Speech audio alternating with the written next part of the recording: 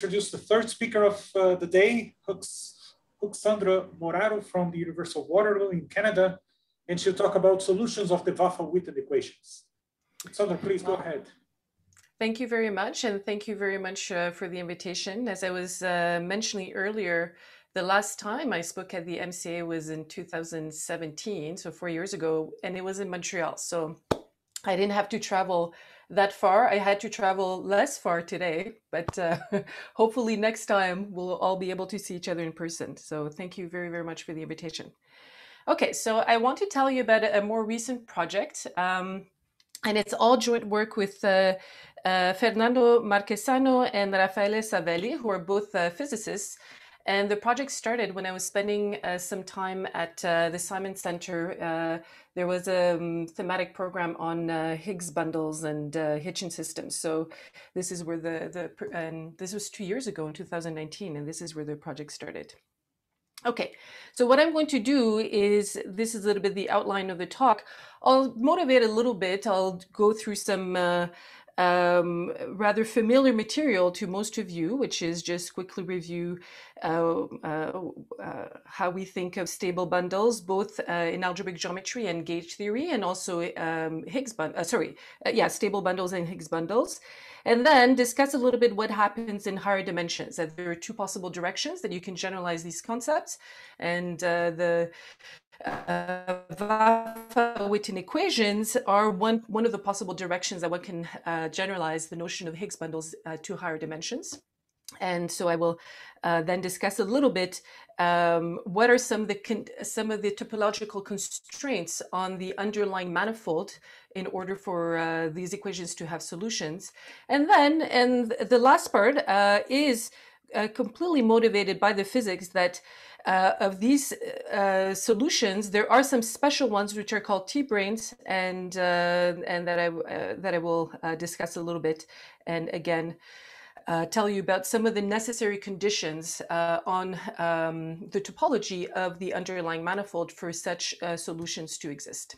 Okay, so this is the, the plan for the talk. So as I mentioned at the beginning, should be familiar to many of you, but I thought that it's not a bad idea to see how things generalize, to see a little bit, to, to recall some of these notions. Okay, so I'm going to assume that M is a compact complex manifold and that it admits a Kähler metric, uh, the fundamental form, whose fundamental form is omega. A lot of what I'm saying you could do on any compact complex manifold as long as you use a Gauduchon metric, but uh, I'm going to stick to the Kähler case. And then I'm going to consider smooth vector bundles on that manifold. So let's call them E and on not just smooth vector bundles, but I want to also consider some holomorphic structures. So for us, uh, I really, in today's talk, I'm really going to be thinking of them as partial connections. So connections that take smooth sections to smooth sections, um, uh, tensored by some uh, holomorphic, um, sorry, anti-holomorphic one form. And, uh, and the pair is what I will call the holomorphic vector bundle. And uh, when one um, a natural problem is to consider the uh, the set of all these objects, and in particular their moduli spaces, and then in order to have well-behaved moduli spaces, usually one contains uh, considers the stable objects, and to define the stability, one needs a notion of degree. So let me recall, I'm going to be using slope stability um, and then for, for the notion of the degree, how do you define the degree of a holomorphic vector bundle? Suppose that you start with such a holomorphic vector bundle. Then to define the degree, all you need is to pick a Hermitian metric on the vector bundle E, and then take the curvature of the associated Chern connection. And you can use that to define the degree as follows. You will simply integrate the trace of the curvature of the Chern connection wedge with uh, the n minus one power of um, uh, uh, of the omega. And I think I forgot to mention. I'm now realizing that by here the n is the complex dimension of uh, the manifold. I forgot to mention that on the first slide. I think. Okay, so this is uh, the standard way of defining the degree. It, be, it is an integer if omega is uh, Kähler. Um, and uh, now we define the slope as simply being the quotient of uh, the degree of the bundle divided by its rank. And you can, of course, also define the uh, the degree of any torsion-free sheaf by simply taking the degree of its determinant um, line bundle divided by the rank of the sheaf. Okay, so that's how we define the degree. And using this definition of degree, we have the notion of stability. Okay, so what is a stable bundle? Then we will say that a, a vector bundle is stable if for every proper subsheaf of, of this um, stable bundle, the slope of the um, subsheaf is strictly smaller than the slope of the vector bundle.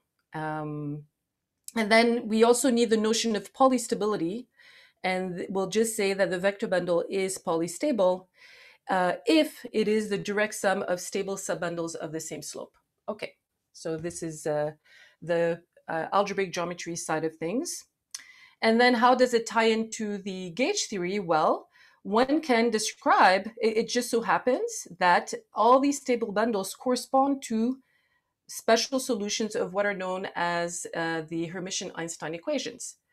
Okay, so um, uh, if we uh, if we start with our holomorphic vector bundle E, and then with its holomorphic structure del bar E, um, we can consider Hermitian metric. Let's call it little h again on on this uh, holomorphic vector bundle, and then if the curvature of the Chern connection satisfies this equation, then uh, you will say that it is um, uh, that the metric is called Hermitian-Einstein. And this equation is what's known as the Hermitian-Einstein equation.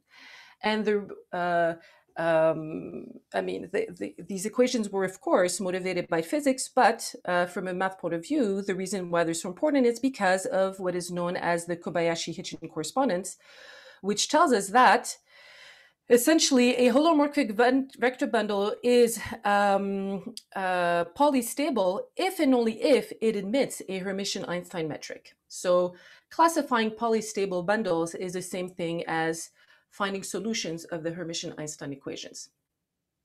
Okay, so this is um, this was first proven by Donaldson, Uhlenbeck, Yau for Kähler manifolds, and then generalized to any complex manifolds with a Gauduchon metric, where everything that I've stated so far applies as long as you pick a Gauduchon metric. Uh, and those always exist on a compact complex manifold, so that's not a problem. And this was generalized by Burta, Li, and Yau. Okay, so that is the classical story, if you if you want.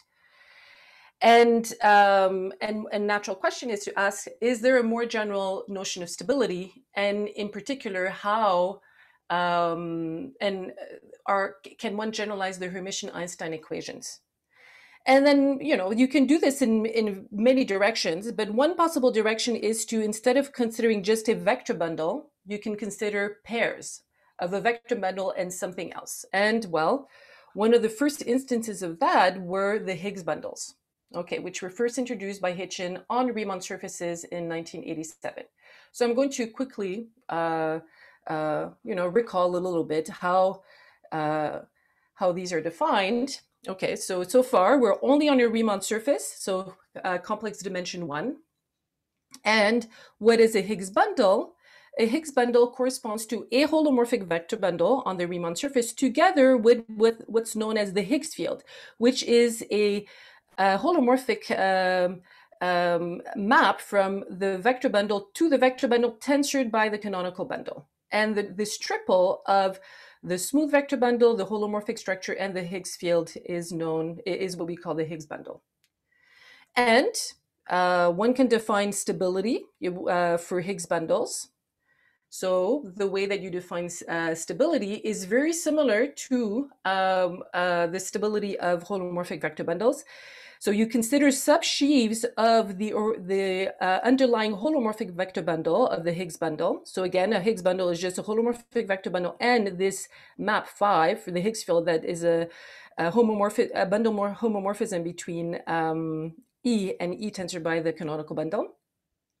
And then, you know, and, and the bundle, the Higgs bundle will be called uh, stable if for any subsheaf of the holomorphic vector bundle, that is phi invariant, meaning that it uh, maps uh, S to S tensored by the canonical bundle. Then the slope of this phi invariant um, uh, subsheaf is strictly smaller than the slope of the vector bundle. And well, Higgs bundles are called polystable if they are the direct sum of stable Higgs subbundles of the same slope. Okay, so the only extra invariant is that you only consider subsheaves that are phi invariant to determine stability. So in particular, what can happen is that uh, the you can have a situation where the underlying holomorphic vector bundle is not stable in, in the sense that it does admit some subsheaves whose slopes are greater or equal to the slope of the bundle, but those are, are not phi invariant and therefore you do not consider them to determine the stability of the pair. So in some ways, you're enlarging your moduli space by considering Higgs bundles uh, because, of course, if you start with any stable bundle, if the underlying holomorphic vector bundle is stable, it doesn't matter. Uh, uh, all, all the subsheaves will satisfy this equation that we're interested in. So, you know, you automatically, the phi invariant one will also satisfy that. But now you may have situations where the underlying bundle, holomorphic bundle is not stable, but the it is stable as a, um, a Higgs bundle for a, a specific uh, Higgs field. Okay, so that's maybe the the thing to to keep in mind here. Oh, I don't know what happened. Oh, okay. That's um yeah, sorry about that. I don't know what happened to that page, but uh, that's okay. All right, so that was the algebraic geometry sort of things, and now I want to get to the gauge theory. So similarly to uh, stable bundles and, and the Hermitian-Einstein equations, you have that these stable Higgs bundles um, uh, are related to these um, Hermitian metrics that this time satisfied what are known as the, as the Hitchin equations. So uh, again, you just pick a Hermitian metric on your holomorphic vector bundle and uh, you will say that it satisfies the Hitchin equations if the curvature of the Chern connection now satisfies this a bit more general equation, right? So you don't just have the, uh, uh, keep in mind here that the dimension is complex dimension one. So here, when we're wedging by omega n minus one, this is just going to be zero. And so, you know, you there's no wedging by a form, but uh, we're adding this extra term, which uh, involves the Higgs field for, for your Hitchin equation.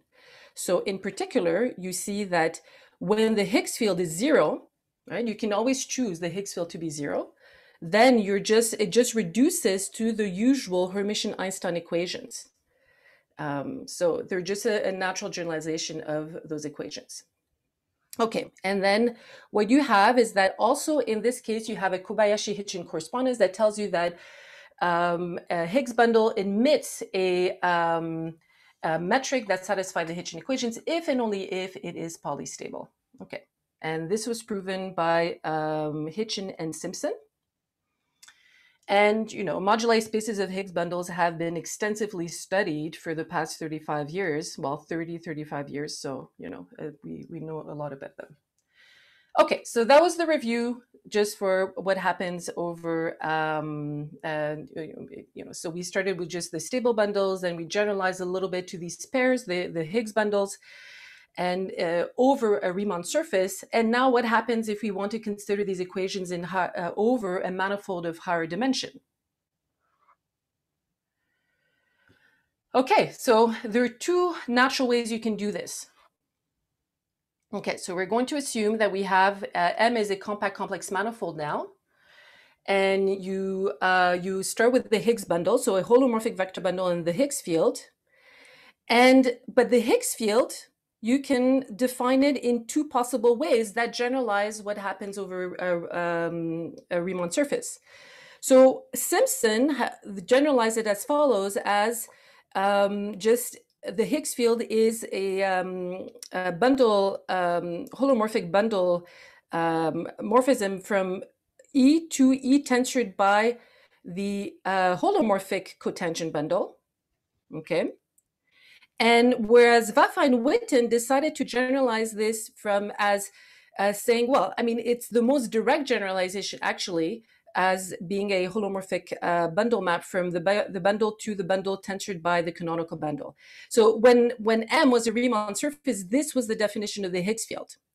But Simpson uh, chose to generalize it by replacing on a Riemann surface, of course, the canonical bundle is simply the um, holomorphic uh, cotangent bundle. So this is also a natural way of uh, generalizing uh, the notion of the Higgs bundle. Okay, and you know most of the work has been done in the uh, from using Simpson's definition. So you have quite a work that has been done in this case, and a little less in, in this case. And uh, and so it is the the Vafa-Witten uh, generalization that I want to discuss today. Okay. So, uh, so as I mentioned, so when you're on a Riemann surface, when the complex dimension one, these both these de these definition corresponds to Hitchin's definition of uh, Higgs bundles, and uh, oops, um, and uh, in both cases, um, we define polystability, stability, and polystability in the same way as we did for Higgs bundles on uh, Riemann surfaces. Okay, so a lot of I'm not going to. Um, uh, so I'll go more quickly over these things, but uh, and and I want to say that um, the Vafa-Witten generalization makes sense over any manifold of higher dimension, and we're, we're looking at you know not just uh, complex dimension two, but I'm just going to, for simplicity, focus on the case where uh, M is a complex dimension two uh, compact manifold, so a complex um, compact complex surface. Okay, so let me, um, unless there are questions, let me just now uh, go over what is known about uh, the Vafa-Witten equations. Okay, so as I mentioned, I'm going to now assume that I'm, an, I'm in a, I am on a compact complex surface.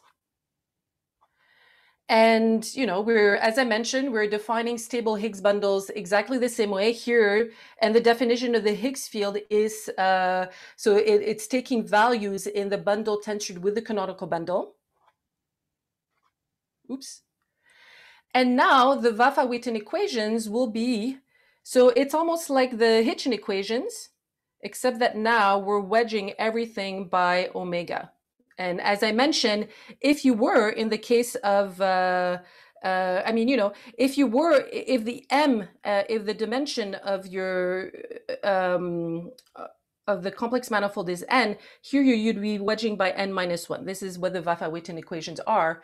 And so in particular, when the dimension is com the complex dimension is one, you're just getting the Hitchin equations. And uh, and for us, because we're on a complex uh, on a compact surface, this is just equal to one. So this is uh, what we have, okay? Okay, so these are uh, the Vafa-Witten equations.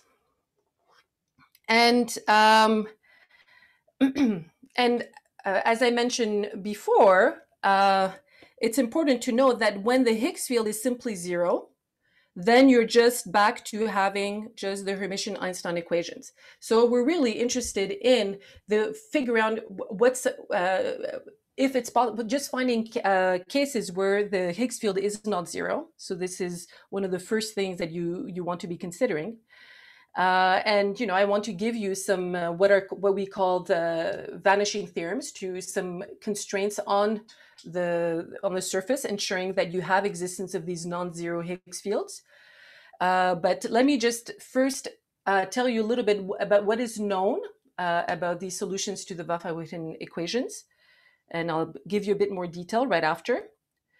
So uh, Vafa-Witten already had some original uh, results about uh, the, the, vanishing that we confirmed, and but we're able to generalize a little bit about certain topological constraints on the underlying manifold, and to ensure that you do have possible non-zero phis.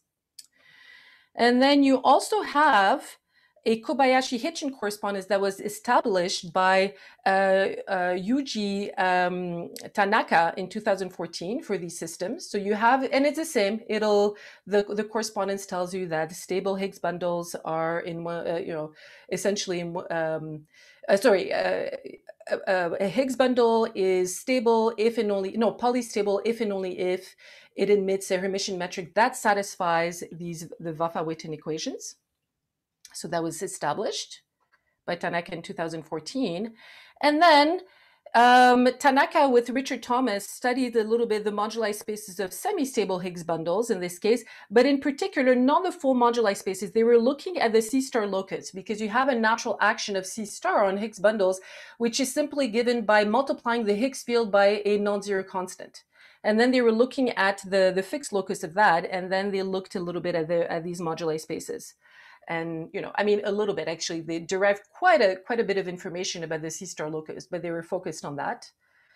And then with um, uh, with uh, uh, they also looked at some examples uh, of non non-trivial um, uh, Higgs bundles, where by non-trivial I mean that the, the Higgs field is not zero, uh, but they were just constructed on direct sum of line bundles, and it's simply because they were interested in the C star locus. So you know they didn't want to, they didn't need to explore further.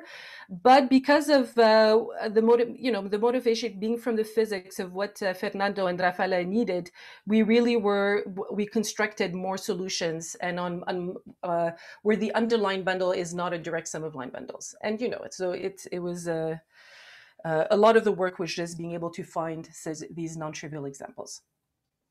Okay, so let me tell you a little bit uh, more, uh, give you a bit more detail. Okay, so as I mentioned that we are essentially, one of the thing, more interesting cases is of course the case where the Higgs field is non-zero. Otherwise, the Vafa-Witten equation just reduce uh, to uh, the Hermitian-Einstein uh, equation. So there's not much to do. And the, we have the following result that we're actually able to prove for any dimension, but I'm here I'm mentioning for a surface. And well, the result is that if you do have a stable Higgs bundle on, on the surface X, where the Higgs field is non-zero, then the degree of the canonical bundle has to be greater or equal to zero. Okay, so this kind of gives you a little bit where to look for if you're interested in these cases where the phi is not zero. So our proof is very algebraic, but I should say that, and, and as I said, it, it really um, uh, holds for uh, any dimension, not just for the compact complex surfaces. Um, but uh, I should say that it verifies something that uh, Vafa and Witten had already done um, for surfaces using a, a Weitzenböck formula. They were able to prove that if you have a compact Kähler surface that has a non-negative scalar curvature, then the um, um, the um, uh, any solution of the equations must have phi equal to zero. So uh, so, so, that is that. So that's the first, uh, at least it gives you some conditions. We already know in order to have a non-zero Higgs field, you need the degree of the canonical bundle to be greater or equal to zero. Okay. So, but they're um, motivated by the physics. They were not just interested in finding Higgs bundles where phi is not zero, where the Higgs field is not zero. They also were interested in um, in um, bundles where if you take so this is part you know this commutator that you that is appearing in the Vafa-Witten uh, equations they also this is motivated by the physics they want to make sure that this is not zero. Okay so we wanted to uh, to find um, possible to be able to determine some conditions where to that will ensure that this is non-zero and also compute examples where uh, the commutator this um, this commutator was not zero of the Higgs field uh, with its uh, with its dual. Okay, so this is uh, um, so I, I, should mention that already, if you want this commutator to be uh, non-zero, the, the Higgs field has to be non-zero. So by the previous result, it forces the degree of the canonical bundle of the surface to be greater or equal to zero. Uh, but we can actually make this a little bit uh, more, uh, obtain a strict, we were able to obtain a strict inequality. So, um, so the result is the following for necessary conditions um, for the existence of T-branes. So the T-branes are the Higgs bundles where the commutator of the Higgs field with its dual is not zero. And then the result is that in that case, if there exists such a T-brane, then the degree of the canonical bundle of the surface has to be strictly positive. So it really forces the compact complex surface to be either proper elliptic or of general type. Um, and you know the i'll give you just a little sketch of the proof. I mean uh, let me see how much time i have. I think i'm okay. I think i still i'm, I'm still okay uh, to be able to give a, a, a slight idea. Um, so you know as i mentioned on the previous slide if um, you you need the phi to be non-zero. So because if uh, um, uh, because you know if you the degree of the canonical bundle by the previous result if the degree of the canonical bundle is uh, strictly smaller than zero then phi is uh, the, the, higgs field has to be zero if it is um, a, a t-brane if it is a solution of the Vafa-Witten equation. Um, and so we just need to check that when the degree of the canonical bundle is zero then this commutator it also has happens to be zero so it'll fail to be a t-brane and uh, so, you know, you break it up into two cases. You know, the techniques are, are quite standard, you, but you just have to work through all the, uh, uh, the, the cases. So when the canonical bundle is trivial, then you can prove that in this case, the the Higgs field, well, first of all, the Higgs field, if the canonical bundle is trivial, is simply going to be a holomorphic uh, map from uh, E to itself. So it's just a, an, an endomorphism of the bundle. And you can show that in this case, if uh, it is a solution of the Vafa-Witten equations, then that phi will simply be a multiple of the identity. And so its commutator, the commutator of this with its, uh, with its dual will be zero. And then because polystable bundles are just uh, direct sums of stable um, bundles, then you the that case will will follow through immediately. That you also have that when the canonical bundle is uh, uh, is trivial, then uh, it forces automatically any Higgs field, um, any non-zero Higgs field, to still have uh, the property that the commutator of the Higgs field with its dual is zero. Okay, so th this is how you prove it. And then for the general case, if the canonical bundle is not trivial, but the degree is zero, then you can cover the surface with by a finite cover. It emits a finite cover by a complex com, compact complex surface with oh, and I forgot to write it. That's uh, missing the the key ingredient where the canonical bundle is trivial. And then you pull everything back to the covering surface and then work there, and you end up with your, the result. So that's how you prove it. Okay, so these were our necessary conditions.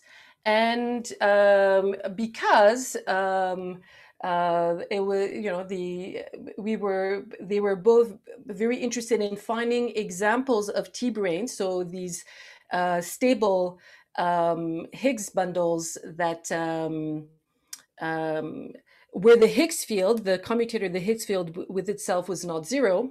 Uh, uh, we uh, so you know we we use this result, and uh, so let me I will just finish the talk by uh, giving you uh, some examples. so of course, a very simple way of doing it is that if you start with a compact complex surface, so we know it will either have to be proper elliptic or of general type. And suppose that you have two holomorphic line bundles, let's say uh, L1 and L2, with uh, the degree of L1 strictly smaller than the degree of L2. And the extra condition is that there is a non-zero section of the homomorphism and a non-zero homomorphism from L2 to L1, then you can create this Higgs field and it will have the desired property that uh, its commutator with the commutator phi with its dual is non-zero. And so it'll be a T-brane. But of course, this is assuming that such a section exists. And you can show that we worked with proper elliptic surfaces for now. This was what we considered that you can always do it. And not only that, but you can also, you, ha you have such phis that exist, but you can also construct these Higgs, uh, these T-branes um, not just uh, in the case where the underlying bundle is like here, the sum of two line bundles, but also on uh, vector bundles um, that are stable. so non-split bundles. So we're able to uh, to to construct uh, examples of these things. So far, just on a proper elliptic surface, uh, simply because I have expertise on elliptic surfaces, so it was a good, an easier place to start. But you know, I think that one should be able to do it uh, uh, on on other uh, on surfaces of general type. Okay, so this is what we what we did, and these are some uh, interesting questions that remain. I think uh, for these regarding these equations. So one of the first uh, question would be, you know, uh, what is the deformation theory of these uh, stable Higgs bundles and of the solutions of the Vafa-Witten equations? So in that direction, as I mentioned a little bit um, uh, earlier, Tanaka and Thomas were already did a little bit of that analysis of, uh, I mean, already did the analysis, but for the C star loco of the moduli space of stable Higgs bundles on on projected, they were focusing on projective surfaces. And then, uh, so, but it would be interesting to see in general what it is. Uh, of course, coming up with more examples and maybe just even not just examples of the bundles, but also the moduli spaces, having a better understanding of the full moduli space. And also, an interesting question would be, um, um, oh, and and sorry, I, I'm going, I'm jumping. That uh, from the point of view of the physics, it's interesting. I mean, I, I mean, I'm skipping details, but uh, because there's certain invariants that you end up computing uh, that are uh, relevant from the physics point of view, and you need uh, bundles that do not split, where the underlying bundle does not split. But you know, so it, it's it would be interesting to have more examples of those. And then finally, just maybe an interesting question would be to understand how uh, understand a little bit better how the locus of T branes lies inside the moduli space of the stable Higgs bundles, right? Because they they just they they happen to be special solutions of of uh, the Vafa-Witten equation, so special uh, a special subset of Higgs bundles. Okay, so that takes me to the end. I have put here some uh, references of uh, uh, the some of the work. I mean, I am sure I'm forgetting many things, but these are some references, some of the important references that I alluded to. And uh, and thank you. Thank you very much, Sandra, for the nice presentation. Uh, are there you. talks? Are, are there uh, questions? yeah, I, I, yeah I have two questions. Mm -hmm. First of all, uh, is there some Hitchin map I mean, as the in the usual Hitchin.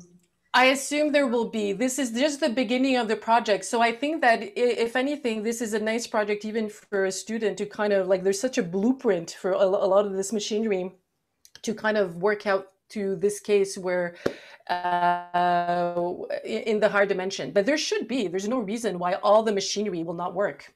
It's just that we, I was trying to answer more their questions. They were in, interested more in so far, but I think from the math point of view, these moduli spaces uh, should be quite interesting, right? Uh, so I think that, uh, and I imagine that yes. So the answer is, is yes, but I haven't thought about it. No. And also, I mean, in, in the usual case, is you you have the A branes and the B branes that they have some mm -hmm. Lagrangian structure and symplectic structure. Yeah.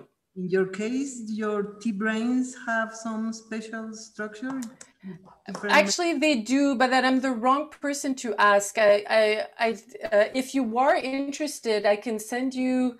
Um, so Fernando, that's how I first learned about the project. I was visiting, as I said, Simons Center. He gave a very nice talk where there is something very significant going on in the physics, where they, I think they these come up as the intersection of branes, and somehow like, and but uh, you know, I'm not a physicist, but somehow the um, I think that these are you're maybe on a six manifold and you have branes that I think are maybe supported on something four dimensional and they intersect in something, a complex surface. And then, you know, so you, but I would have to go back. So I can answer, I can go back to Fernando's talk as I do have it and, and I can explain to you, but there's this very significant, uh, it, it ties into the big, to the rest of the theory in, in a very specific way.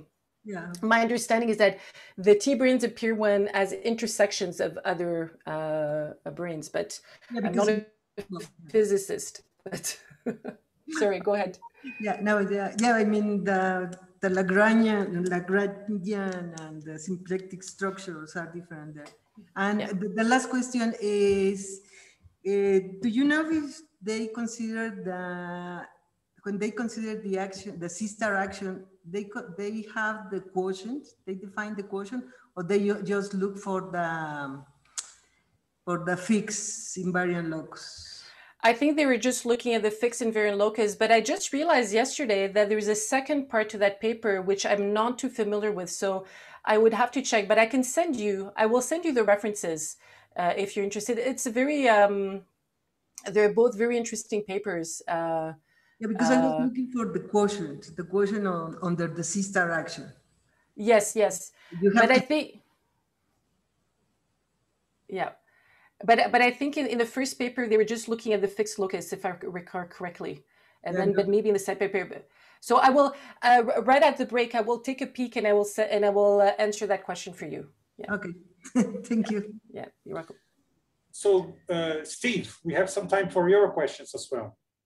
Oh, uh, thanks, uh, thanks, Marcus, and uh, great talk, uh, Ruxandra. I really enjoyed it. And uh, Thank you. honestly, uh, Letitia, um, you know, asked uh, basically all of my questions, but I'll, I'll try and, and come up with a with another one now, uh, maybe related to the last point about the C star Mhm. action. So, you know, the example that you gave a couple of slides back is a fixed point of the C star action. It's a type one one. Yes, exactly, exactly, and that's what that's why I was saying. Like they're they they're actually they are uh, so this one right. Mhm. So in their paper, they were just looking at those types of uh, of um, um, Higgs bundles because they you know they, they were f- uh, focusing on this the C star locus. Yeah, the fixed points of the C star action. Absolutely Hmm. and um, and because I think they were just interested in that in paper. I mean, I can't speak for them. I know that Fernando, no, actually, it's Raffaele went and spoke quite a bit with Richard uh, while he at some point he was uh, at Imperial. Um, b- uh, but I uh, I don't know myself why they just focused on the C star locus. Like, what was what was the motivation, or if it was just the start of their uh, you know kind of uh, looking at uh, um, uh, at the problem. So I, I can't explain exactly why that's what they were really just looking at. But you're absolutely correct. This is exactly the the types of bundles they were working with. Yeah. And then because for us, it's because they were not interested in the T branes. I mean, the T branes, you need, you just really want, as I said, you want the commutator of phi and phi star to be non-zero. Uh, and uh, and then and they particularly wanted examples where the underlying bundle was not split. So you know we we were focusing more on that. But uh, yeah, Sure. You know, suppose I take um, you know rank R um, Vafa-Witten Higgs bundles on on one of these surfaces. You know, then then I could be looking at uh, fixed points of, of some type corresponding to, or, or all types, uh, you know, that correspond to partitions of the rank. And you know, I could try to to compute all of these different complex variations of Hodge structure, and I can compute, uh, you know, the the weight space and in, the tangent space that corresponds to the downward deformations between them, and then from that I can I can you know uh, cook up a series, you know, the the Poincare, poly, you know, a, a kind of Mhm, virtual Poincare polynomial, and I say virtual because I imagine that many things you know are going to be singular that wouldn't you know would normally be Yeah. smooth in the curves case. So you get some sort of invariant, you know, this virtual yeah. Poincare series from from exactly this this data, and I'm just wondering if um, you know, do we know? I mean, is that is that an interesting invariant with regards to moduli spaces of Vafa-Witten? Uh, Well, that's precisely what they did in their paper. They computed those invariants. Yeah. And actually, now I'm maybe answering my question. Maybe that was the yeah, main, maybe uh, that's yeah. that that's why they focused on that. Sorry, it's just Yeah, so you answered the question before No, I no. asked it, so thank you, thank you. No, no. th- so that's exactly what the content of that paper is. So there, like I said, there are two papers. The original one now just appeared, and uh, and then I realized that I mean that the, there's a second part where I, ha- I was not aware of it before. That. Uh, uh, but I'm not as familiar. But it's still, when I quickly looked at it, uh, it's still just focusing on the on the invariance, the Vafa-Witten invariance. Absolutely, yeah. Okay, Okay, so the Vafa-Witten invariants and, and these, Yes. these virtual Poincare series are, are closely Uh, related, is what yeah, you're saying. yeah. Okay, perfect, perfect. Thanks, Ruxandra. Thank you. Thank you very much. All right. Well, I'll stop sharing my screen, but thank you very much for the, all the questions. Thank you, Sandra, for your uh, presentation. So let's uh, thank her again. Thank